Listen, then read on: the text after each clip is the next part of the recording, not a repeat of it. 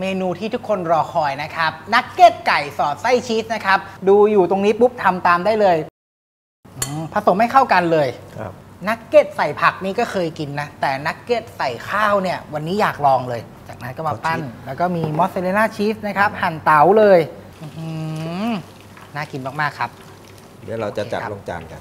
เรียบร้อยครับ คุณผู้ชมครับ เมนูของเท็ดดี้และเชฟประจวบในวันนี้นะครับ นักเก็ตไก่สอดไส้ชีสครับ